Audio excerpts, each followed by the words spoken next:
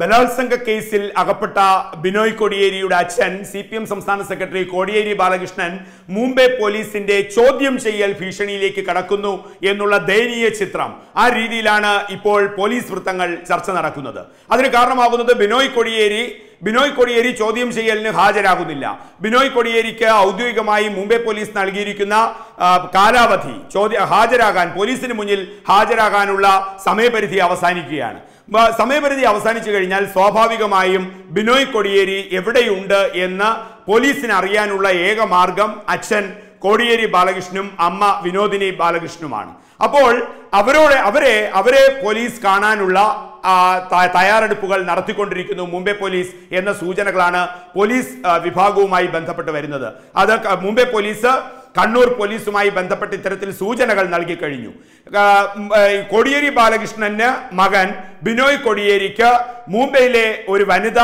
യുവതി നൽകിയിട്ടുള്ള ബലാത്സംഗ കേസിൽ ചോദ്യം ചെയ്യലിന് ഹാജരാകണം അവിടെ ഒരു എഫ് ഐ ആർ രജിസ്റ്റർ ചെയ്തു കഴിഞ്ഞു three seventy six three seventy six two four twenty five nought four five nought five ആ വകുപ്പുകളൊക്കെ ഉൾപ്പെടുത്തിയാണ് വഞ്ചന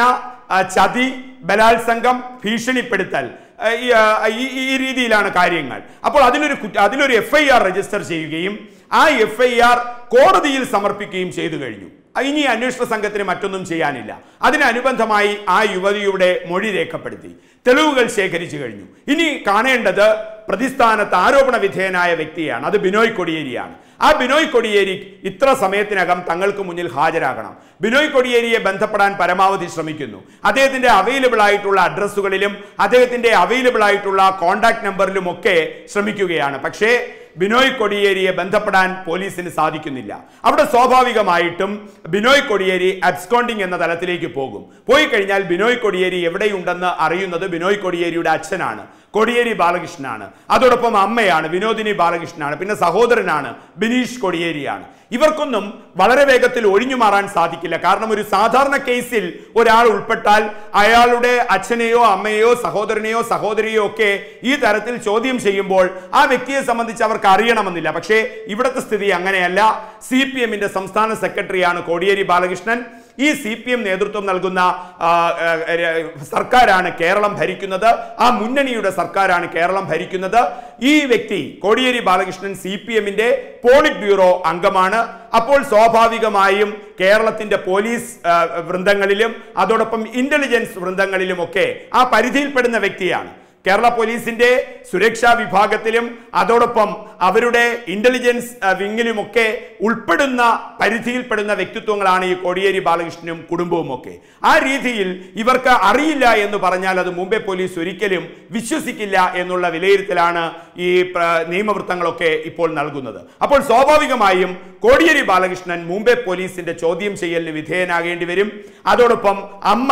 ബിനോയ് കോടിയേരിയുടെ അമ്മ വിനോദിനി ബാലകൃഷ്ണൻ ചോദ്യം ചെയ്യലിന് വിധേയനാകേണ്ടി വരും അതോടൊപ്പം ബിനീഷ് കോടിയേരി ആവശ്യമായ ഘട്ടത്തിൽ ബിനീഷ് കൊടിയേരിയും ഈ സഹോദരൻ ബിനീഷ് കൊടിയേരിയും ചോദ്യം ചെയ്യലിന് വിധേയമാകേണ്ടി വരും ആ രീതിയിലാണ് കാര്യങ്ങൾ പോകുന്നത് യുവതി അവരുടെ നിലപാടിൽ അവരുടെ പരാതിയിൽ വളരെ സ്റ്റേൺ ആൻഡ് സ്ട്രിക്റ്റ് ആയിട്ട് നിൽക്കുകയാണ് ഉറച്ചു നിൽക്കുകയാണ് അനുബന്ധമായ തെളിവുകൾ അവൾ ഹാജരാക്കി കഴിഞ്ഞു ആ തെളിവുകൾ വിശ്വാസയോഗ്യമെന്ന് മുംബൈ പോലീസിനെ മനസ്സിലായി കഴിഞ്ഞു ആ മുംബൈ പോലീസ്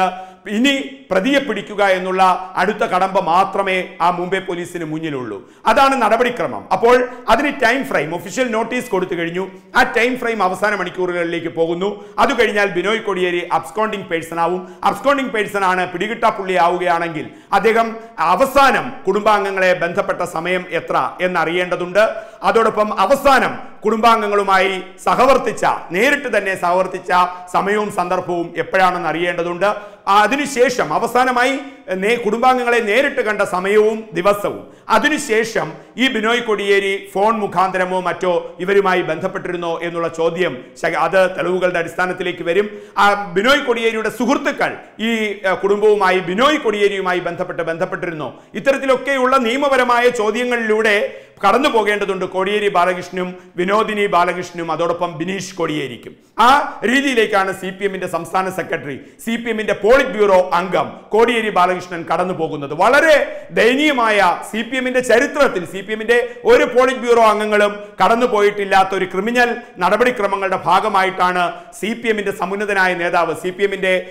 പോളിറ്റ് ബ്യൂറോ അംഗവും സി പി എമ്മിന്റെ സംസ്ഥാന സെക്രട്ടറിയും മുൻ ആഭ്യന്തര വകുപ്പ് കേരളത്തിന്റെ ആഭ്യന്തര വകുപ്പ് മന്ത്രിയും കടന്നു പോകുന്നത് എന്നുള്ള വിധി വൈപര്യത്വം ദയനീയത ദാരുണത കോടിയേരി ബാലകൃഷ്ണൻ നേരിടുന്നു കോടിയേരി ബാലകൃഷ്ണന്റെ കുടുംബം നേരിടുന്നു അപ്പോൾ ഇനി മണിക്കൂറുകൾ മാത്രമേ ഉള്ളൂ കോടിയേരി ബാലകൃഷ്ണൻ ചികിത്സയുമായി ബന്ധപ്പെട്ട് സ്വകാര്യ ആശുപത്രിയിൽ എന്നാണ് അദ്ദേഹവുമായി അടുത്ത വൃത്തങ്ങളോട് ബന്ധപ്പെടുമ്പോൾ നമുക്ക് ലഭിക്കുന്ന സൂചന അദ്ദേഹം ചികിത്സയിലാണ് ഇപ്പോൾ പ്രതികരിക്കില്ല പക്ഷേ ഈ വെള്ളിയാഴ്ച വെള്ളിയാഴ്ചയോടുകൂടി അദ്ദേഹം ചികിത്സ അവസാനിക്കും എന്നുള്ള റിപ്പോർട്ടുകളും അദ്ദേഹത്തോട് നിരന്തരം പ്രവർത്തകർ ബന്ധപ്പെടാൻ ശ്രമിക്കുമ്പോൾ ലഭിക്കുന്നുണ്ട് എന്തായാലും മുംബൈ പോലീസ് വളരെ സ്ട്രിക്റ്റ് ആയിട്ട് പോകുന്നു ബലാത്സംഗ പരാതി നൽകിയ യുവതി ഉറച്ചു നിൽക്കുന്നു തെളിവുകളുമായി അവിടെ ബിനോയ് കൊടിയേരിയുടെ മുന്നിൽ ഉള്ള ഇനി ഏക വഴി കണ്ണൂർ പോലീസ് സൂപ്രണ്ടിന് മുന്നിൽ കീഴടങ്ങുക അല്ലെങ്കിൽ കീഴടങ്ങുക എന്നുള്ള പദം അബ്സ്കോണ്ടിങ് എന്നുള്ളതിന് ഒഫീഷ്യൽ വെർഷൻ വരികയും ഒരു ലുക്കൌട്ട് നോട്ടീസ് പിടികിട്ട പുള്ളി എന്നുള്ള നോട്ടീസ് പോയി കഴിഞ്ഞാൽ പിന്നെ ബിനോ ബിനോയ് കൊടിയേരി അന്വേഷണ ഉദ്യോഗസ്ഥന് മുന്നിൽ ഹാജരായി എന്നായിരിക്കില്ല മാധ്യമങ്ങൾ റിപ്പോർട്ട് ചെയ്യുന്നത് അതിൻ്റെ നടപടിക്രമം അനുസരിച്ച് അപ്പോൾ മാധ്യമങ്ങൾക്ക് മുന്നിൽ ഒരു റിപ്പോർട്ട് ദേശീയ മാധ്യമങ്ങൾ ചർച്ച ചെയ്യുന്നതനുസരിച്ച് ബലാത്സംഗ കേസിൽ ബിനോയ് കൊടിയേരി ചോദ്യം ചെയ്യലിന് ഹാജരായി എന്നാണ് മാധ്യമങ്ങൾ കൊടുക്കുന്നതെങ്കിൽ ബിനോയ് കൊടിയേരിക്ക് കണ്ണൂർ പോലീസ് സൂപ്രണ്ട് ഓഫ് പോലീസിന് മുന്നിൽ എത്താനുള്ള മണിക്കൂറുകൾ അവസാനിക്കുകയാണ് ഇനി വിരലിലെണ്ണാവുന്ന മണിക്കൂറുകൾ മാത്രം ആ വിരലിലെണ്ണാവുന്ന മണിക്കൂറുകൾ അവസാനിച്ചു കഴിഞ്ഞാൽ ബിനോയ് കൊടിയേരി അബ്സ്കോണ്ടിങ് എന്ന് പോലീസ് പറയും അവിടെ ഒരു ലുക്കൌട്ട് നോട്ടീസ് ഉണ്ടാകും അങ്ങനെ ലുക്കൌട്ട് നോട്ടീസ് ഉണ്ടായി കഴിഞ്ഞാൽ പിടികിട്ടാ പുള്ളി എന്ന് പ്രഖ്യാപിച്ചു കഴിഞ്ഞാൽ ബിനോയ് കൊടിയേരി സ്വമേധയ ഏതെങ്കിലും പോലീസ് ഓഫീസറുമായി ബന്ധപ്പെട്ടാൽ അത്